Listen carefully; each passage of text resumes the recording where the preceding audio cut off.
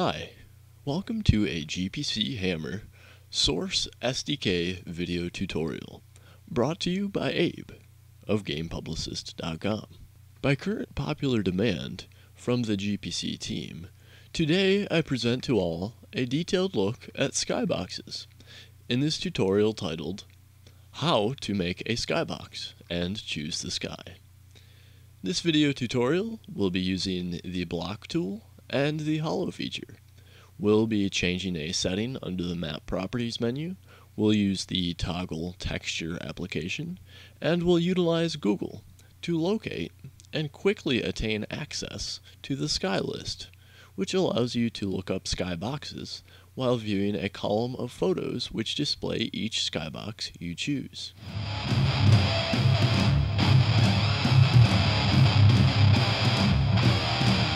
So I'm going to go ahead and go to File New inside my Hammer Source SDK editor. I'm going to make my top view pretty large here. And we're going to start by utilizing the brush tool, or the block tool, which is also known as Shift B.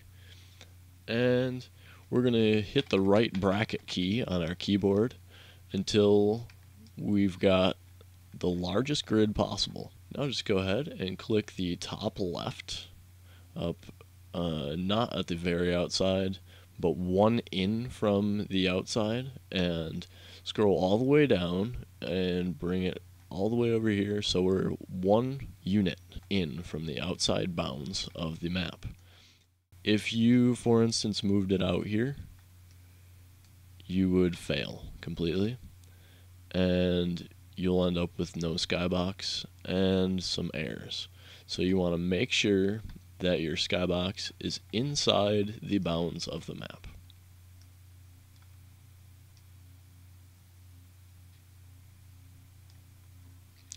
Okay, so we selected the circumference of our skybox from our top view, but we don't know what the height of it is until we go to either the side view or the front view. You'll see that in the front view it's the same height as it is in the side view because clearly both of those views are relatively associated with each other on the same plane. So go ahead and click the top bound of the box and click and drag it all the way to the top and click the bottom bounds of the sky blocks and and click the bottom bounds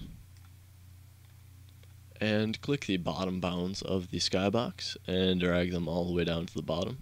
And once again, we're making sure not to go outside of the map boundaries. Okay, so now if you look at your side view, you'll see it's uh, a big box as well. So go ahead and just hit enter. Now you've got a box. You could move it around on accident and you'd end up with some problems.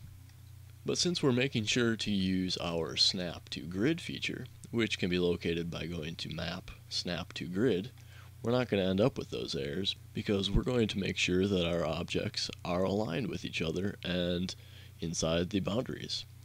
Okay, so we've got that box. But right now it's just a big huge cube and it's not really acting as a skybox or a room or anything. It's just a massive cube that has completely swallowed the entire map. Um, and this is a pretty big section by the way. Uh, this is the size of pretty much you know the biggest Gmod map you've ever been in. Uh, there's no way they could really get any bigger than this other than maybe bringing it out to this edge. But uh, I would recommend, you know, just sticking in this with uh, the 31744 size. Now go ahead and go to Tools, Make Hollow. You can also just press Control H. Now when you press Control H, you'll be prompted, how thick do you want to make the walls? And it mentions you can use a negative number to hollow outward, and that's just what we're going to do. Could use negative 64 if we would like which is the exact horizontal height of your eyesight, actually, in Garry's Mod, the 64 units. So now we actually have a hollow box. It has six sides, and if we click this X here in the center, we'll be selecting all of the sides. Now these sides are grouped together and if you accidentally ungrouped them by going to ungroup and you clicked one side and moved it around, you actually wouldn't be selecting everything.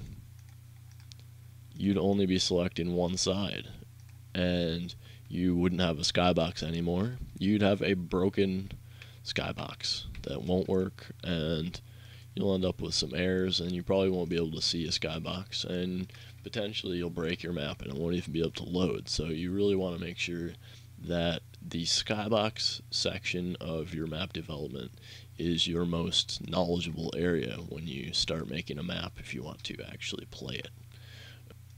Okay, so one thing that you might end up doing on accident when you first get started making a skybox is have IG clicked, which ID ignores groups.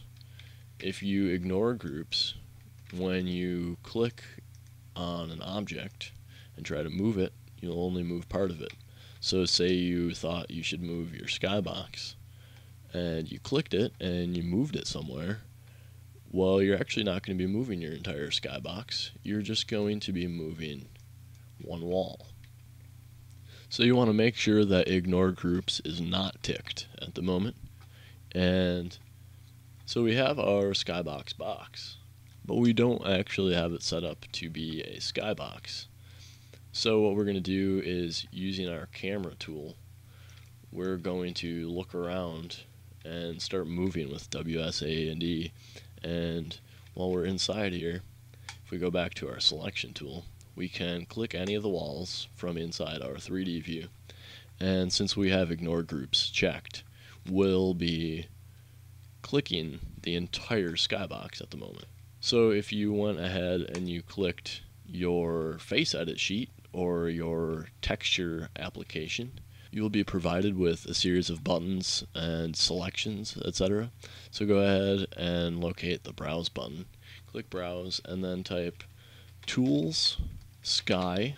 So now that you have that selected, you can just go ahead and click apply.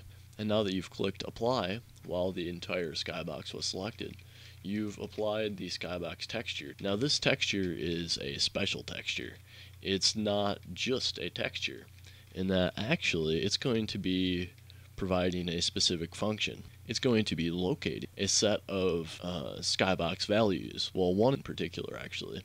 If you go to map, map properties, you'll see you can type in the name of your map and your map description, and just below that, you'll see Skybox texture name. Now, the default is Sky Day 0101, but we're going to go over here and we're going to go to Google